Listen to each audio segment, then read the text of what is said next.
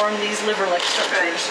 Um, and then there's an example of some cardiac. Immune cells, we've got your cancer cells, your cancer stem cells, so it's more than seven or eight different cells. And then this is an example of the DNA of one of our people.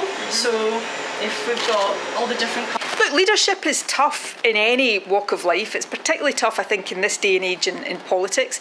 So if you are putting yourself forward as leader, you need to not just expect and accept, but embrace really rigorous scrutiny because that is part and parcel of, of testing yourself and allowing others to test you.